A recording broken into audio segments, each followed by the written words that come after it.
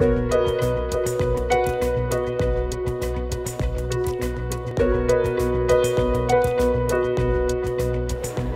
I'm Martin Andersen. I'm the product manager for TRIOS Design Studio. I'd like to show you how easy it is to design a crown in Design Studio. First step is to scan the patient with a TRIOS scanner. The first way you scan the antagonist, the preparation and the bite. And once you've done that, you move straight into the design phase where you design the crown. Okay, now we're done with the scanning and we automatically move into the uh, design phase. What you see here is the, is the scan and the first step is to detect the margin line. So you basically click on the margin line and it automatically uh, detects it for you. You can see it from below up, you can easily correct it if you want to.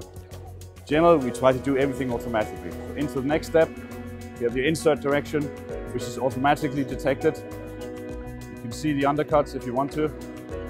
So here, it automatically designs a crown for you. Of course, you have all the tools to modify your crown if you need to. In the last step, we move into the cam, cam step, where we nest the crown into the block. Uh, and then by clicking produce, we simply send it off to the mill to get it produced. The great thing about TRIOS Design Studio is that it's an open system. You can choose to mill your restoration on a wide range of mills. This was TRIOS Design Studio. Please come by our booth to take a look.